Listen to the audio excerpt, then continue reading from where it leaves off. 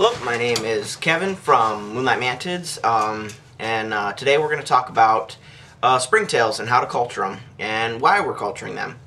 Um, it's uh, it, we're going to use them for grass mantids, um, plain and simple. We have some North American species that you're probably familiar with or don't really know about. Um, they are it's the uh, Brunneria borealis, which is the Brunner mantis.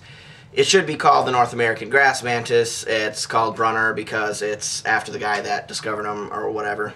And uh, there's other species of grass mantis, like the Indian grass mantis, which is the Schizobicornis, which one of my favorite Latin names, Schizo. Um, and uh, anyway, so uh, the thing with these is they start out really, really tiny. And sometimes springtails are a little bit better of an option than the uh, melanogaster, which, because they're about the same size. I mean, they start really, really, really small, and they're very delicate, and they're hard to set up. So I'm going to show you how to set them up a little bit, because I have some that just hatched right here that uh, I got from Joe Murphy um, this, I think it was this spring. Anyway, thanks Joe for uh, for uh, sending me these, and um, I got them right here. I'm going to show you guys how to set them up. The uh, cool thing about uh, the Brunner mantis that I'm going to go ahead and mention right now, other than it's a U.S. species, is that it's parthenogenic, which means the cool thing about them is you raise them up, and then you have, uh, once they're adults, they're all female. You don't need to breed these things. That's what parthenogenic means. They just reproduce on their own. They kind of clone themselves. So um, once you get one to adulthood, they'll just lay a whole bunch of ooth for the duration after reaching adulthood, which is really, really cool. Um, not the Schizobicornis, those you actually have to breed. Um, but uh, the thing with these, they start out really, really small. Both of these species do, and uh, it can, they're just really delicate. It's really hard to get them to that point.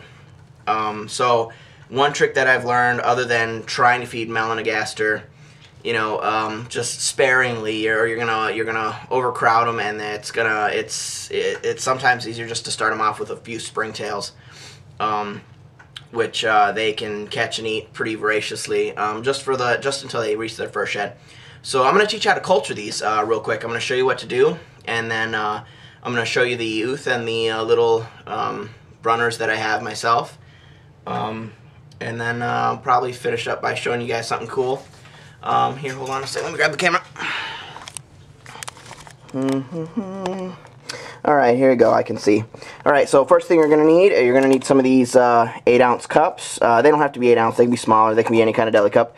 So long as they seal uh, properly, which means that you don't want any holes or anything like that in them. Because springtails can get out, and once they get out, um, they're pretty much everywhere. They're not a nuisance, springtails eat mold, um, which I'm going to show you what they eat and how to culture them and all that. And uh, one thing you're going to need, and there's two different methods of doing this that I'm going to show you just real fast. So you get your cup, and we're going to pretend set one of these up. And you have here um, charcoal chips, which uh, I'm just going to take a scoop of these out, little 5 ounce cup, and you're going to fill it about halfway with the charcoal chips real quick. Just show you, just like that. Next thing you're going to need, real simple, some distilled water. Even though uh, I don't think everyone uses distilled water, um, we're going to go ahead and just add some nice distilled water. About a quarter of the way, you know, not uh, not all the way. Some people rinse this out. I just, I'm just going to add some here just to show you quick.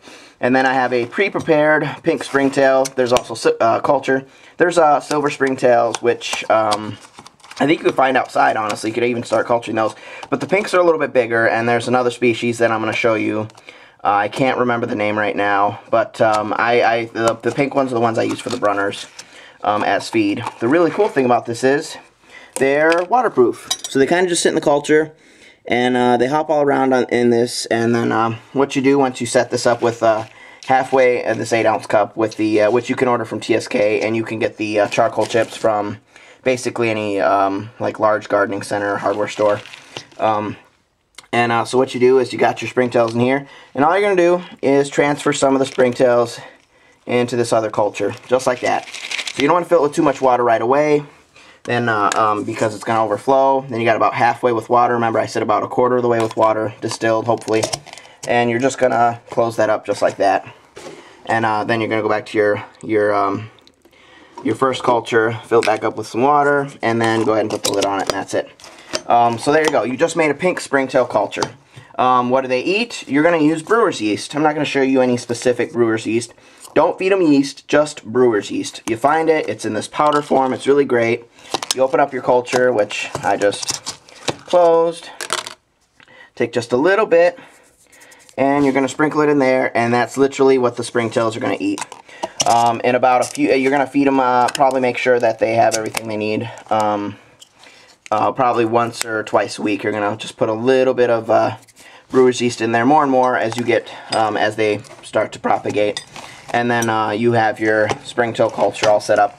Uh, another way to do this is you can get the 8 ounce cup, put a little bit of Eco Earth in it. And literally, I'm not joking, you don't have to have the chips, but I'm going to tell you the main difference if you don't. See, you just got your culture here.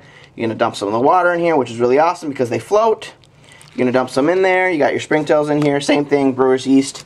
Close it. You can throw in some organic matter whatever. They like to decompose stuff. Um, springtails, you should know, are used to clean vivariums. They're like... Uh, um, they help to uh, just uh, like decompose the leftover uh, plant matter and uh, even animal matter. If you have something like uh, assassin bugs and a viv, they can uh, break down stuff, and they're really useful, just like isopods. Um, which are also you can also use as another feeder feeder, but they're really hard to reproduce. Anyway, you put your brewer's yeast in here. You can also just use Eco. That's literally all you need. All you need really is a sealed container somewhat of a medium. The main difference, why do people not just use this and this like easier? Well, like I just showed you, they kind of float because they're waterproof. And uh, when you want to transfer them for feeding, you can literally just dump in some of the springtails, or what some people do is they open them, open them up, and if you just like really gently blow a little bit like this, they just kind of go everywhere and you can just uh, add some into whatever you have your Brunner mantids in. By the way, Brunner mantids are really voracious and love to eat each other, which uh, isn't really a great way to start them because you want as many as you can get because they don't hatch really fast. Um, now I'm going to show you really quickly my Ooth and my new Brunner mantis. Mantids. See right there? You got a couple there. That's the youth. That's literally how big the youth are. The adults are fairly large. I'm going to go ahead and close this uh, before they escape. Sorry, sorry, sorry. Boring. Okay. So, my other ones, there's a few in there. Um, something you should know about these Ooth. Um, yes, you put them upside down. Yes, I got a little bit of moss in there. And I just lightly mist the Ooth every couple of days. Uh, not the Ooth directly, just the uh, the moss here in the bottom. Something to know about these Ooth when they, when these mantids, when they start to hatch, these nice little brunners, is that they uh, not only will they eat each other, they hatch randomly. They don't hatch all at once. They hatch in the course of a week to two weeks. So you might get two or three to hatch a day, up to 20 or 30, possibly, usually not even that much. And uh, they, they, they hatch randomly. So they are not all going to come out at the same time. And um, so you're to probably get a couple of them and say, oh, that's it? Damn, that, that's kind of that's kind of lame. And then they just you end up throwing them outside. Uh, these have actually been eating a little bit. I've been throwing springtails in there. Um, but I'm going to show you real quick um, what I typically put them in because they like to eat each other. I see the, the nice Ooth and the nice Brunners. Really cool. They get really nice bright green, really big. Um, beautiful U.S. species.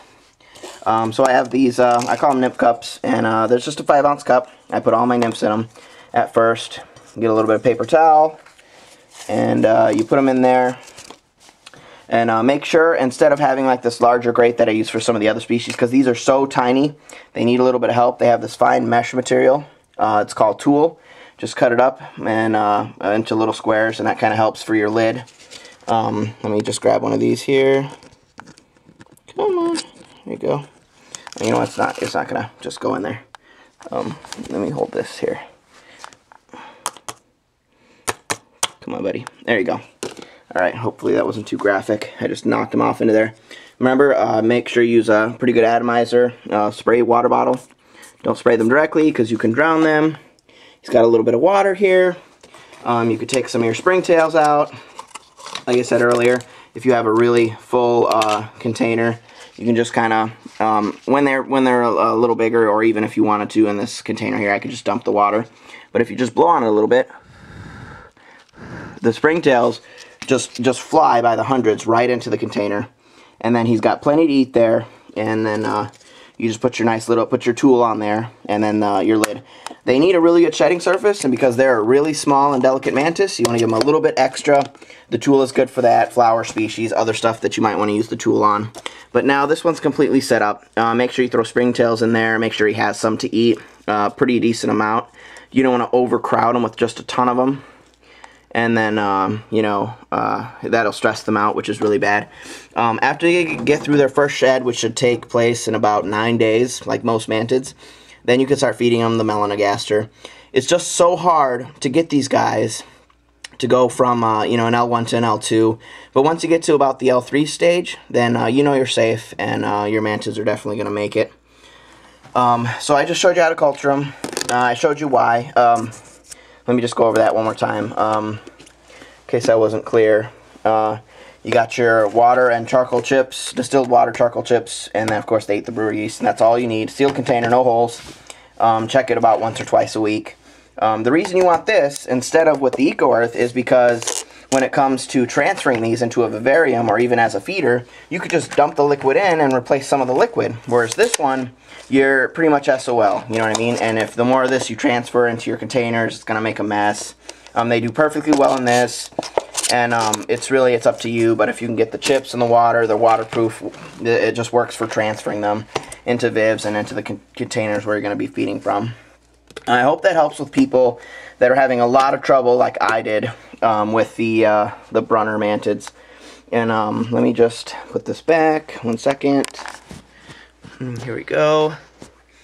Alright, can you see me? Um, yeah, uh, I, I hope that helps a lot. I usually don't show how to like culture things um, besides mantids, but these are great feeder for mantids. They're really easy to do. Everyone should have a backup pink, uh, pink springtail culture. Another reason why is you see behind me here we have a vivarium, and uh, I like to put a lot of my mantids, like my orchids, um, my bigger stuff, my real pretty stuff, into the Vivs for pictures. Um, sometimes I keep a few in there. It's, I don't really use the Vivs for anything. Um, I just like to put adults in there once in a while. And uh, sometimes with a lot of the touchier species, they seem to get ill. Um, or you get a female that just, you know, doesn't want to relax, doesn't want to eat. The best thing to do is sometimes just to pop them in a Viv. And like I had one that uh, was egg bound. It just didn't want to lay eggs. Threw in a vivarium, mist the vivarium every other day like I do for my uh, bromeliads or ferns or whatever's in there. And uh, then they, they relax and they just start laying a bunch of eggs and you just take the eggs out and incubate them um, like you can watch my ooth video. And uh, that's pretty much all you do. I hope this video helped. Uh, let me show you something really really cool and then I'll let you guys go just because I like to kind of mix it up.